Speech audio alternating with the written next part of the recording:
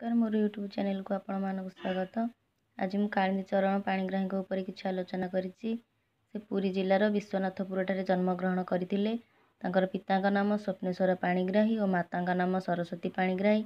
ତାଙ୍କର କନ୍ୟା ସନ୍ତାନ ହେଉଛନ୍ତି ନନ୍ଦିନୀ ଶତପଥୀ। ରେଭେନ୍ସା କଲେଜରେ ପଢ଼ିବା ସମୟରେ ସେ ନନ୍ସେନ୍ସ କ୍ଲବ୍ ଗଠନ କରିଥିଲେ। ଏହି ଦଳରେ ଥିବା ନଅ ଜଣ ଲେଖକ ଲେଖିକା ଉତ୍କଳ ସାହିତ୍ୟ ପତ୍ରିକାରେ ବାସନ୍ତୀ ନାମକ ଏକ ଉପନ୍ୟାସ ଧାରାବାହିକ ଭାବରେ ପ୍ରକାଶ କରୁଥିଲେ। ଏହି ସମୟରେ ସବୁଜ ଗୋଷ୍ଠୀର ମୁଖପତ୍ର ଯୁଗବୀଣାରେ କାଳିନ୍ଦୀ ଚରଣଙ୍କ ଲେଖାମାନ ମଧ୍ୟ ପ୍ରକାଶ ପାଉଥିଲା। ସେ ପଦ୍ମଭୂଷଣ ପୁରସ୍କାର ପାଇଥିଲେ ଓଡ଼ିଶା ସାହିତ୍ୟ ଏକାଡେମୀ ପୁରସ୍କାର ପାଇଥିଲେ।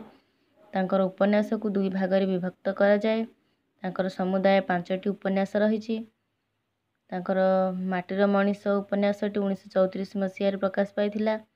ଗ୍ରାମ୍ୟ ଗ୍ରାମ୍ୟ ଜୀବନରେ ଦୁଇ ଯା ଭିତରେ କଳହ ଓ ଭାଇ ଭଗାରୀ ଭାଗବଣ୍ଟା ଇତ୍ୟାଦି ଏହି ଉପନ୍ୟାସର ମୁଖ୍ୟ ବିଷୟ।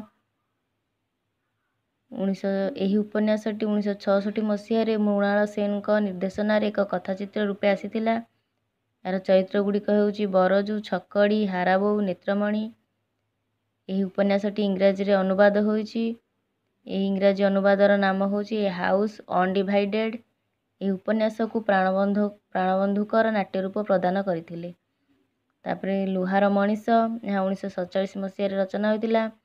ଅମରଚିତା ଉଣେଇଶହ ବତିଶ ମସିହାରେ ପ୍ରକାଶିତ। ଐତିହାସିକ ଉପନ୍ୟାସ ଏହା ଅଟେ। ନଅଙ୍କ ଦୁର୍ଭିକ୍ଷ ଓ ତା'ର ପରବର୍ତ୍ତୀ ସମାଜ ଜୀବନର ପ୍ରତିକ୍ରିୟା ଏଥିରେ ଦେଖିବାକୁ ମିଳେ। ଆଜିର ମଣିଷ ଉଣେଇଶହ ସତାବନ ମସିହାରେ ପ୍ରକାଶିତ ପ୍ରଥମେ ଏହି ଉପନ୍ୟାସ ଆକାଶବାଣୀ କେନ୍ଦ୍ର ତରଫରୁ ଗୌରୀ ନାମରେ ପ୍ରଚାରିତ ହେଉଥିଲା। ଏହାର ମୁଖ୍ୟ ଚରିତ୍ର ହେଉଛି ଦିବାକର ବାବୁ।